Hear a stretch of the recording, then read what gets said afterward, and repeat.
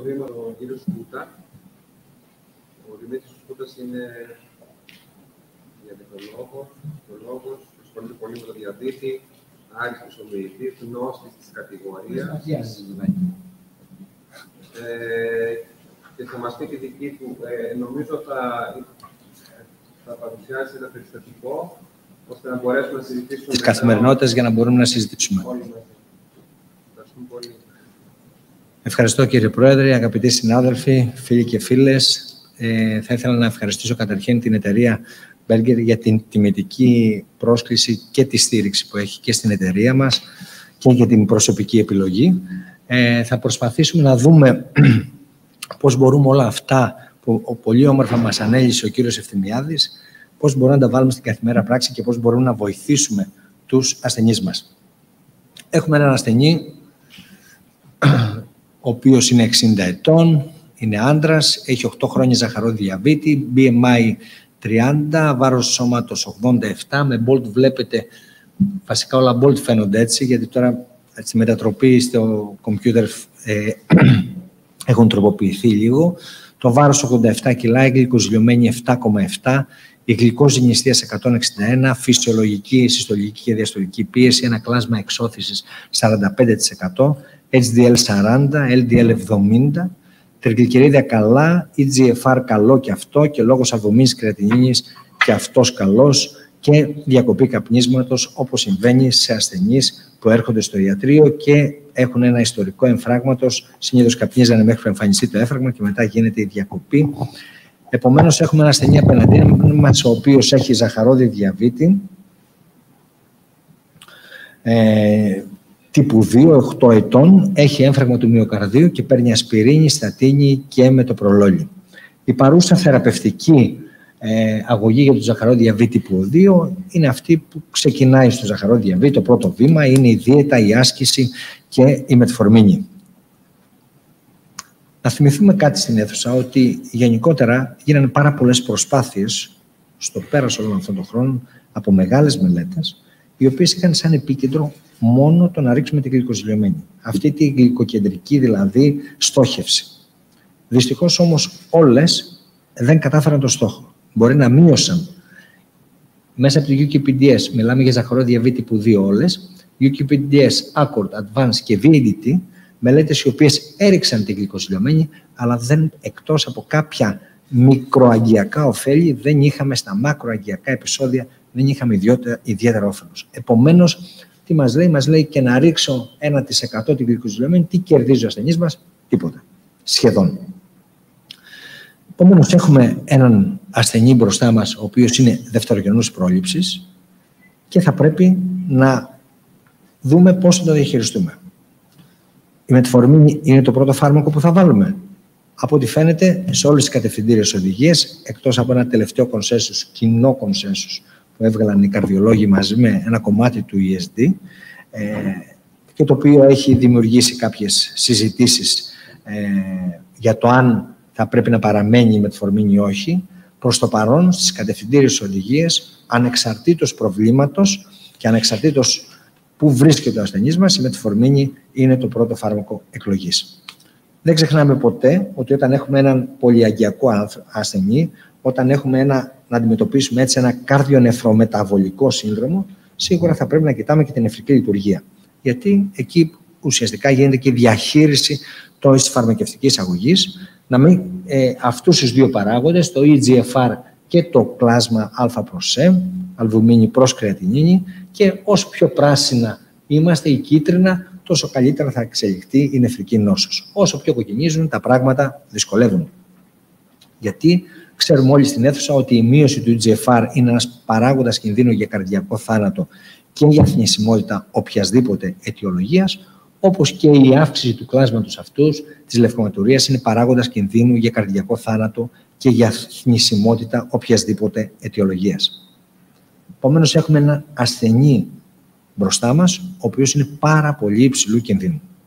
Κάτι το οποίο, είπαμε, επισημάνθηκε σε αυτές τις κατευθυντήριες οδηγίες κοινέ το 2000, δημοσιεύτηκαν το 2020 στο Παρίσι, όπου είχαν ανακοινωθεί στο Παρίσι και μας λέει ασθενείς με ζαχαρό διαβήτη και εγκατεστημένη καρδιακή νόσο.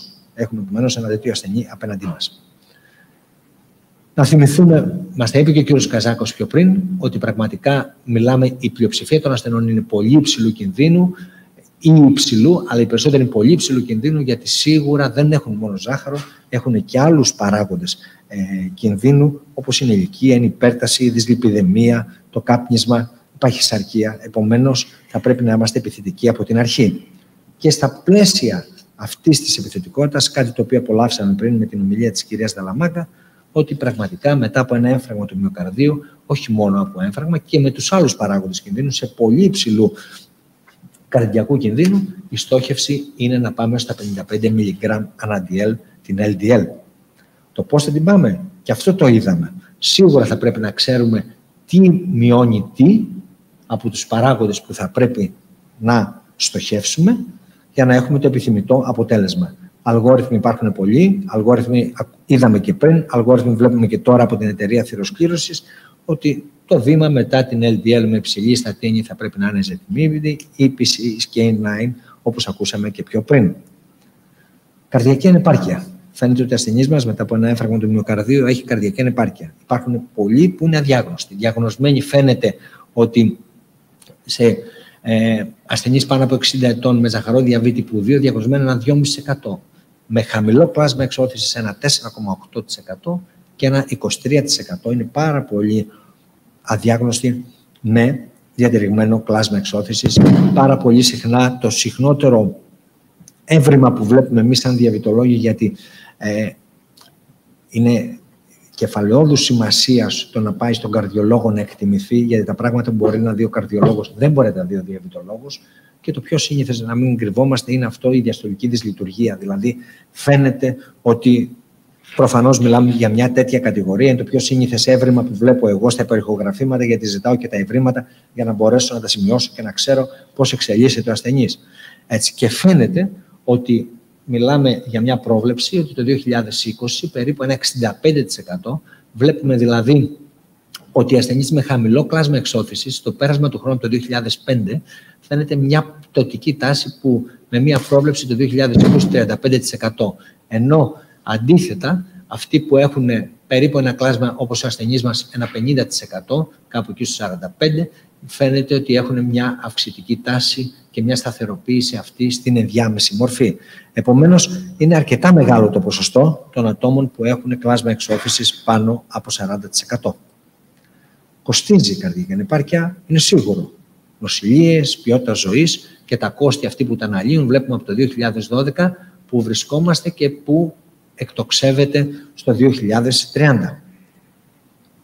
Υπάρχουν παράγοντες κινδύνου, οι οποίοι μπορούν να προβλέψουν την καρδιακή επάρκεια και στον προδιαβήτη και στο ζαχαροδιαβήτη. Ένα registry μας λέει εδώ ότι γενικότερα αν δούμε την τροπονίνη, το, προ, ε, το NT-BNP, ε, high sensitivity CRP, το ηλεκτροκαρδιογράφημα, τα ευρήματα από το υπέρηχο καρδιάς, με αυτούς τους παράγοντες, με αυτούς τους βιοδείκτες, φαίνεται ότι γενικότερα όσο περισσότερους διοκτήτες θετικούς έχουμε, τόσο μεγαλύτερος κίνδυνος είναι και από τον προδιαβήτη και στον διαβήτη.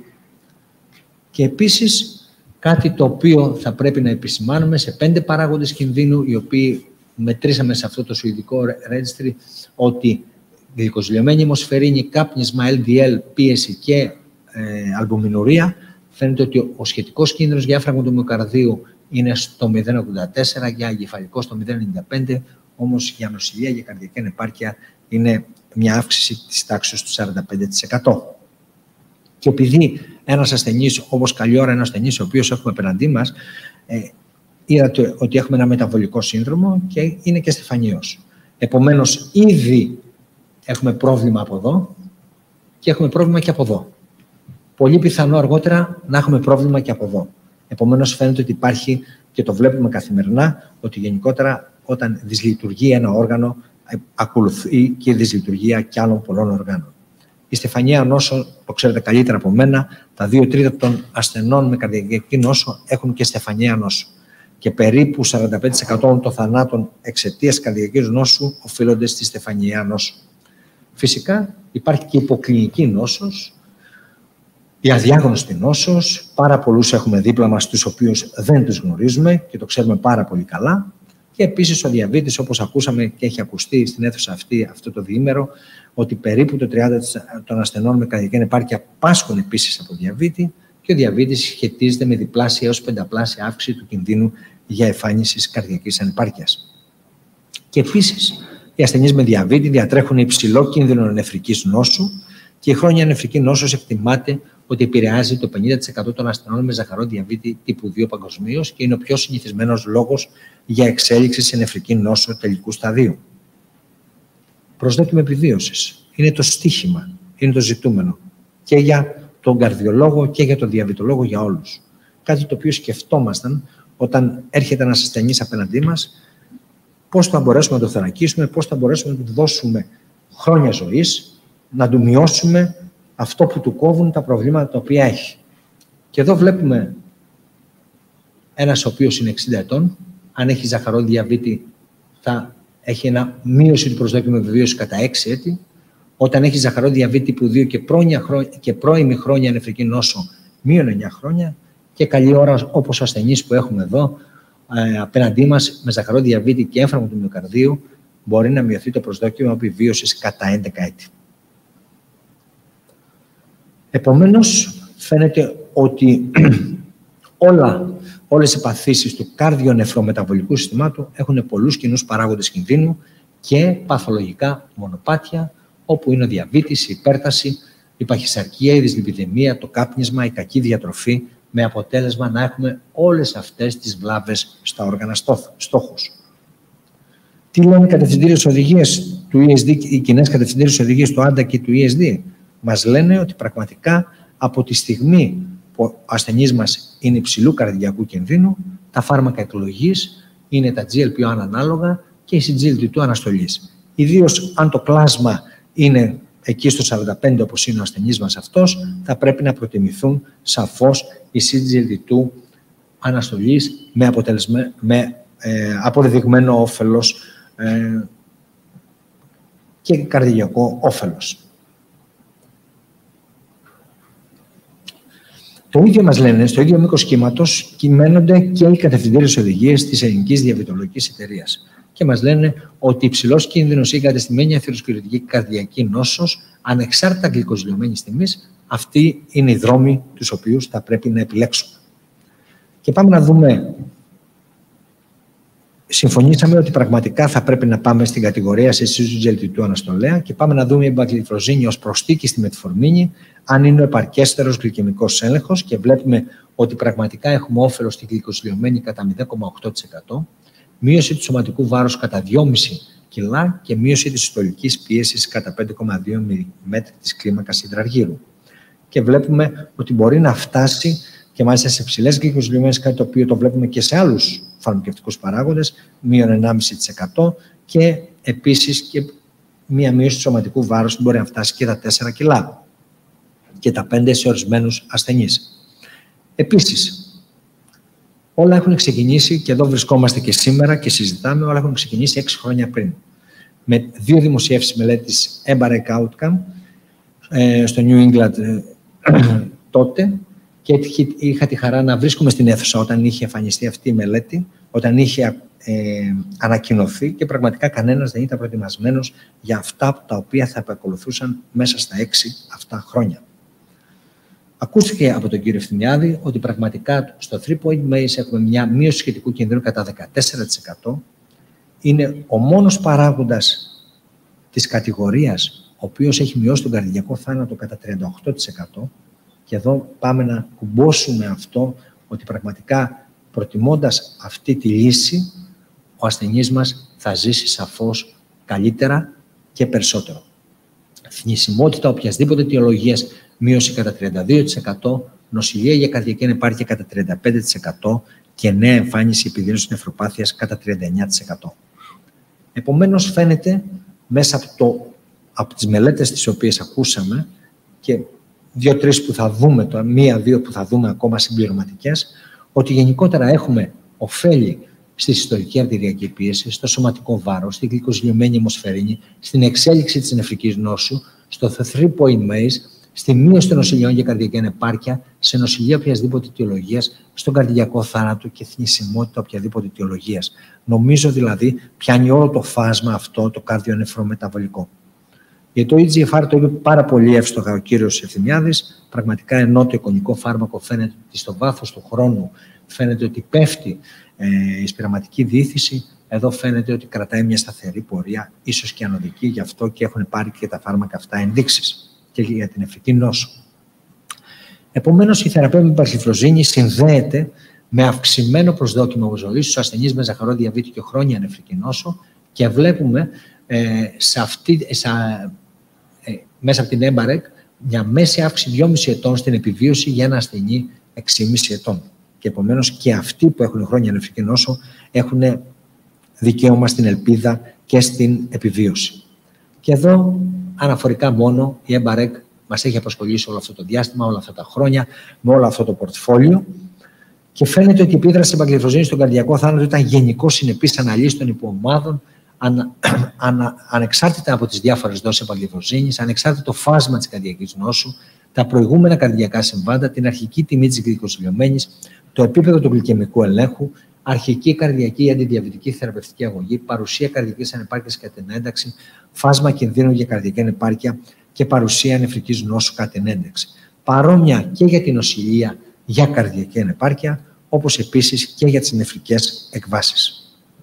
Πάμε να δούμε, την ανέφερε λίγο ο κ. Ευθυμιάδης, μια δευτερεύουσα ανάλυση συνολικών συμβάντων, για να δούμε δηλαδή ότι πραγματικά χορηγώντας η παγκληφροζήνη και μέσα από τη δευτερεύουσα ανάλυση αυτή της Εμπαρεκ, για να δούμε αν έχουμε δεύτερο έμφραγμα, δεύτερο επεισόδιο, δεύτερη, ο, δεύτερη νοσηλεία. Και εδώ φαίνεται ότι στο 3 point maze, που είχαμε μια μείωση κατά 14% με στατιστικά σημαντική διαφορά, αυτό το πράγμα κρατιέται και μειώνεται μάλιστα σε 21%, σε 22% μείωση του σχετικού κινδύνου.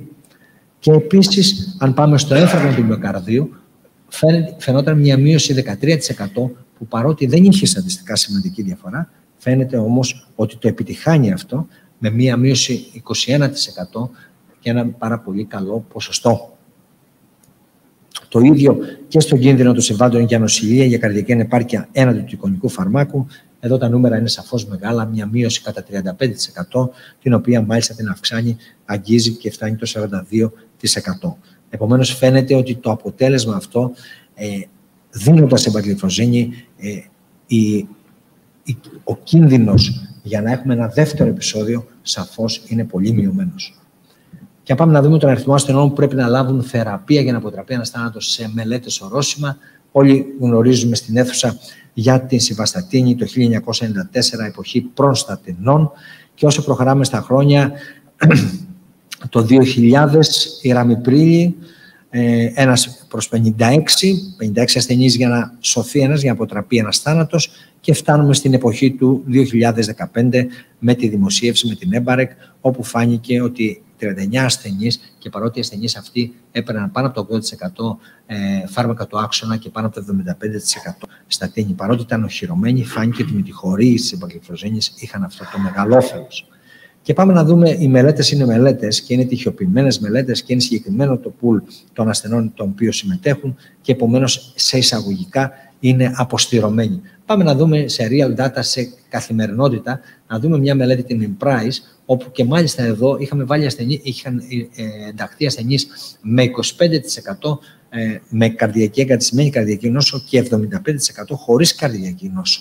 Και πάμε να δούμε αν τα αποτελέσματα της Emprise, τα οποία έχουν δημοσιευτεί, βλέπουμε ασθενείς με ζαχαρό διαβήτη τύπου 2, νέοι χρήστες υπακλητροζήνης και νέοι χρήστες στο DP4, ματσαρίζονται ένας προς ένας και βλέπουμε ότι τα αποτελέσματα της εμπαρκεφροζήνης στη μελέτη Emprise φάνηκε ότι είναι παρόμοια με τη μελέτη Embarek, δηλαδή με τις διπλές στοιχειοποιημένες μελέτες και φαίνεται δηλαδή ωφέλη στην Embarek ήταν 35% όφελος, εδώ έχουμε στο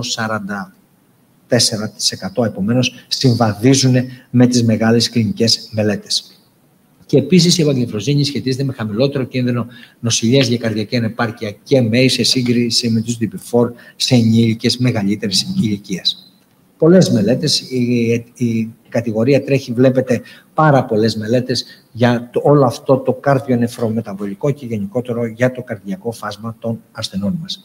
Εδώ είναι μια μελέτη την οποία συζητήσαμε χθες, κύριε Πρόεδρε, και την έβαλα για εσά, ότι πραγματικά βλέπουμε ότι για επίγουσα νοσηλεία για καρδιακή ανεπάρκεια, η σωταγλυφροζίνη, ο οποίος είναι ένας διπλός αναστολέας CGLT2 και CGLT1, φάνηκε ότι μια, ένα όφελος και μείωση σχετικού κινδύνου κατά 33%. Ένα μεγάλο νούμερο. Δυστυχώς η μελέτη τελείωσε πάρα πολύ γρήγορα. Πρόλαβε όμως να δημοσιευτούν αυτά τα δεδομένα τα οποία βλέπετε. Πολλαπλές οι δράσεις ε, το CGLT2 αναστολέων, στο νεφρό, στην καρδιά. Βλέπουμε παντού όλους αυτούς τους παράγοντες, νατριούρηση, διούρηση, μείωση του ουρικού οξέως, γλυκοζουρία, όλα τα οποία ξέρουμε και τα ωφέλη, τα αιμοδυναμικά ωφέλη τα οποία έχει στην καρδιά. Μια πρόσφατη δημοσίευση στο JAC το 2021 μας λέει ότι ε, η εμπαγλυφροζίνη δημιουργεί αλλαγές, έχει αλλαγές στο επικαρδιακό λίπος, το οποίο φαίνεται ότι και αυτό ε, έχει επίδραση στο, ε, στο γλυκοζωρικό αποτέλεσμα και στη δράση ε, της κατηγορίας αυτής με αποτέλεσμα βλέπουμε όλα αυτά τα δεδομένα των μελετών. Και αν πάμε να δούμε πού βρισκόμαστε, ξέρουμε ότι ο διαβήτης μέσω της υπεροσουλιδεμίας οδηγείται στην καρδιακή ανεπάρκεια, έχουμε έντονο κυταρικό στρες και δυσλειτουργία του μυτοχονδρίου, έχουμε ενεργοποίηση των ανταλλακτών ε, υδρογόνου ε, και νατρίου και επίσης, όπως είπαμε, και το επικαρδιακό λίπος φαίνεται και αυτό εμπλέκεται. Και εδώ έρχεται, έρχονται οι συζήτητοι του αναστολής με αποτέλεσμα να μειώσουν όλα αυτά τα δυσμενή προγνωστικά ε, προβλήματα έτσι ώστε να έχουμε το, τα αποτελέσματα τα οποία βλέπουμε. Η επαγγελφοζήνη από οικονομικής άποψης Πολλοί ακούμε, πολλοί βλέπουμε και λέμε, ξέρετε, είναι ακριβά φάρμακα. Φαίνεται όμως σε μια ανάλυση κόστους και αποτελεσματικότητας ότι γενικότερα προβλέφτηκε ε, ότι μπορεί να προσφέρει μεγαλύτερη επιβίωση λόγω μειωμένου ποσοστό κλινικών συμβάντων με πιθανότητα ε, και λόγω των λιγότερων νοσηλειών ε, γενικότερα υπάρχουν ωφέλη από την χορήγηση της εμπαγγελφροζήνης.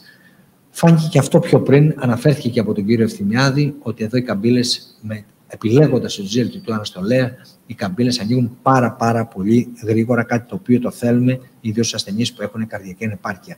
Επομένως, ποιο παράγοντα να ξεκινήσουμε πρώτο, σε GLT2 ή σε GLP1, δεν νομίζω ότι χρήζει αμφισβήτησης. Ε, έχουμε για το MACE, για την καρδιακή ανεπάρκεια, όχι τόσο τρελό αποτέλεσμα στο, ε, στην απώλεια του βάρους, στα νεφρά και είναι και σε δισκείο περός.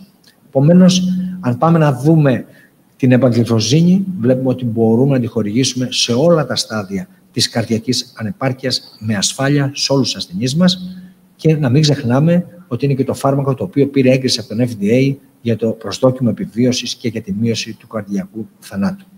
Τελειώνοντας, κύριε Πρόεδρε, κύριε Πρόεδρε αγαπητοί συνάδελφοι, αυτή η ομάδα πρέπει να λειτουργεί ο διαβητολόγος, ο ενδοκρινολόγος, ο νεφρολόγος, ο καρδιολόγος, ο γενικός γιατρός, πρέπει όλοι να είμαστε μια ομπρέλα, οι οποίοι θα πρέπει να συνεργαζόμαστε για το όφελος των ασθενών μας και για να τους αυξήσουμε το προσδόκιμο επιβίωσης. Και επομένως, οχυρώνοντας ασθενείς που έχουν ε, κίνδυνο για καρδιακή νόσο ή έχουν εγκατεστημένη καρδιακή νόσο, σαφώς θα βάλουμε τα αντιμεπιταλιακά, τα αντιπερτασικά, τις στατίνες, η γενοδυτική προσέγγιση. Σαφώς όμως και η μπακλιφοζίνη έχει έναν κυρίαρχο ρόλο στη θεραπεία αυτών των ασθενών. Ευχαριστώ πολύ για την προσοχή σας. Δημήτρη, εξαιρετική ομιλία όπως πάντα. Ε,